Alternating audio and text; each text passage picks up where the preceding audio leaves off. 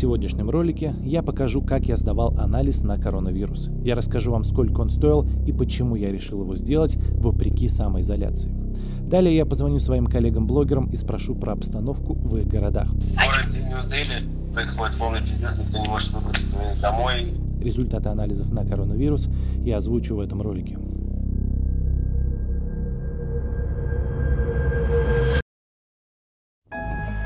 Друзья, всем привет! Сегодня понедельник, и я приехал, чтобы сдать анализы на коронавирус. Я приехал в лабораторию Helix, это единственная лаборатория у нас в Питере, и, как я понял, в России, которая делает анализы на COVID-19. Вот, собственно.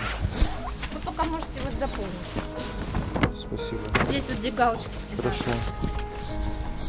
Нужно заполнить какие-то бумажки, всякая такая ерунда.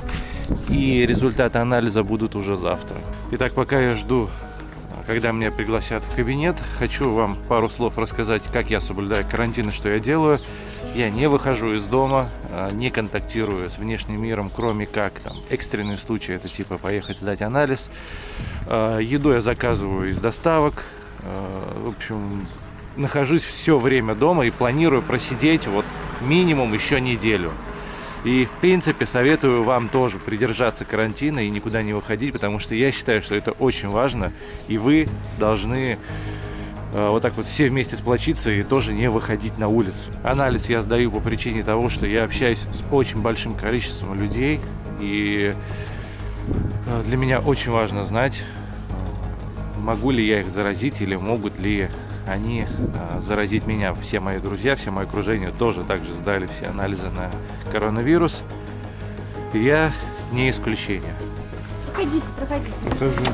Как позже потом выяснилось, в клинику пускают строго по одному человеку. И также строго только по записи. Фамилия, имя, отчество, адрес проживания, почта, телефон и подпись. Максим, привет. Не отвлекай тебя, ты там не ешь. Не. Э, звоню тебе с вопросом, что у вас происходит в Москве? Ну что ж, э, недавно объявили о, так сказать, всеобщей самоизоляции, то есть сказали, что из дома нельзя выходить без уважительной причины. Уважительная причина – это а, выход в магазин продовольственный или в аптеку, выгул собаки не а, дальше, чем 100 метров от э, дома, а, на работу, если кому-то прям необходимо, тоже нужно. И по большому счету, а, и мусор можно бытовой вынести тоже вообще прям смело. А так сидите дома и не заражаете, и не заражайтесь. Ты сам собираешься куда-нибудь выходить на улицу? А, но я выхожу только по необходимости, то есть либо мусор вынести, либо в магазин, то есть работать, поезжать я пока не собираюсь, потому что у меня все сделано. Как ты сам себя чувствуешь? Да, замечательно. Естественно, э, есть э, такая небольшая, э, там, не знаю, паническая особенность, что, ой, горло запершило, может быть, что-то, но э, через там 10 минут отпускается, потому что нет, все, это, это уже в голове, это не здоровье. Какие твои итоги по этому всему? Будет усиливаться карантин, но это и правильно, потому что э, самое главное сейчас снизить уровень роста этой, собственно, пандемии. Что поесть им, сидя дома? Ребятушки, нужно поддерживать так или иначе малый и средний бизнес, то есть рейстики, поэтому я советую доставки из различных ресторанов. То есть то, что вы любили, так сказать, э, на свободе, то вы можете смело заказывать в доставке, потому что ну, и поддерживать нужно, и себя баловать. Я думаю, что можно это делать вообще э, без особых э, каких-то ущемлений и проблем. В общем, будьте здоровы, не паникуйте, все будет хорошо. Спасибо тебе большое. Здоровья. И тебе тоже. Счастья, здоровья. Куда сюда? Да. Кстати, совсем забыл сказать, перед тем, как сдавать этот анализ, нельзя есть около трех с половиной часов. Семена недавно сажал, там как раз были такие упаковки. Сразу хочу сказать, что в кабинете была максимальная стерильность. Обратите внимание на то, как выглядит медицинская сестра. На ее теле практически нет открытых участков тела. Максимальное предохранение. То, чем сейчас она полезет мне в рот, очень похоже на длинную ушную палочку. Сам анализ при этом практически неощутим.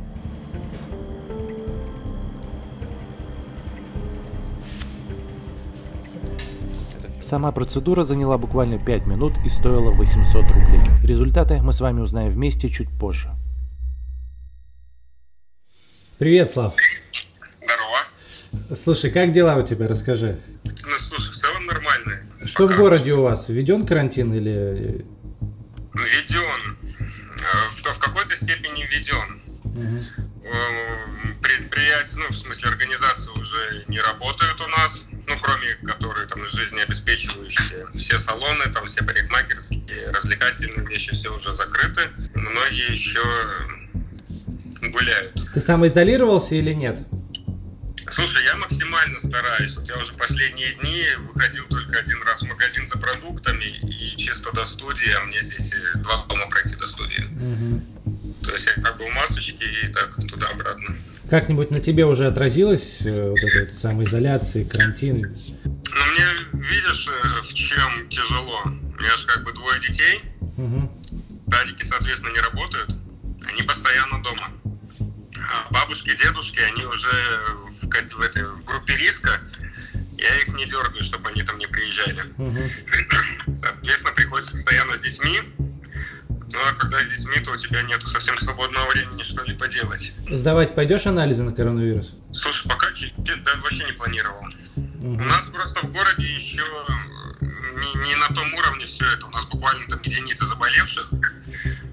Вот, к счастью. Но я боюсь, что если будут, конечно, расти цифры, то, наверное, и меры будут ужесточать. Мгм. Какие у тебя мысли по поводу того, что будет происходить дальше? Слушай, я думаю, что по России это все только начало. И мне кажется, что пик по заболевшим будет э, к середине апреля, наверное, достигнут. Ну, спасибо тебе большое, Слав. Вот. Держимся, самоизолируемся. Давай, Саш, спасибо, Всё. что позвонил. Мгм, Давай, пока-пока. Ну а следующий звонок мы сделаем в Индию. Там застряли мои друзья. В общем, послушайте, что они говорят про их обстановку. Ребят, привет. Привет. Расскажи, пожалуйста, где ты находишься и что у тебя происходит? Мы сидим на карантине, не можем выйти и наслаждаться морем, мы не можем уехать домой, чтобы заплатить кредиты. Расскажи в целом про обстановку. Ну, а что рассказывать? Во всем ми- мире карантин, индусы, долбоебы некоторые, некоторые нормальные. Наш хозяин вообще крутой чего дает нам на халяву еду, продлить наше жилье, в отличие от других индусов, которые выгоняют русских на улице, там некоторых. В городе Нью-Дели происходит полный пиздец, никто не может выбраться домой, вот. там они уже кидают камни, и у нас была пока еще более-менее спокойно, так максимум палками подпинают и Мгм. за то, что ты вышел на улицу, но это не страшно. Просто народ такой, они всему верят. И то есть они считают, если ты не ходишь в маске, и ты белый, все, Домой хотите? Конечно, домой. да, все домой да, хотят. Да, писали. Подожди, да я не то, что хочу, у меня нет выбора, блядь. Проблема в том, то, что за нами не отправляют через борт, а они знаешь, что делают? Короче, создали, короче, ну, я не знаю, это правда или нет, это чисто предположение. Создали, короче, группу какие-то чуваки у нас в Индии, на Гуа, и начали говорить о том, что они отправляют наши документы в МИД и все остальное. Вот. А потом, как оказалось, они просто пропихивают билеты э, Библиоглобуса и Аэрофлота. Они просто продают эти билеты, например, на 30 марта, и еще там были некоторые билеты, они продают за 70 тысяч, люди покупают, потому что говорят, последний шанс. Перед тем, как открыть результат своих анализов, я хочу вам сразу сказать несколько вещей. Чуть позже я пойду делать еще один тест, я не знаю, это неделя будет или полторы, и выход из всей этой ситуации я вижу только один. Сейчас, на данный момент, нужно всем изолироваться, тупо сидеть на карантине дома. Скучно, нечем заняться, ничего страшного, нужно реально отсидеть какое-то количество, какое-то количество времени дома для того, чтобы эта зараза не распространялась. Вирус реально существует, те, кто думает, что это все прикол, э, не думайте так, это все правда, и реально лучше самоизолироваться дома, посидеть недельку, отсидеться, и потом уже, когда будет какое-то понимание вообще всей этой ситуации, уже исходить из этого. Что, давайте откроем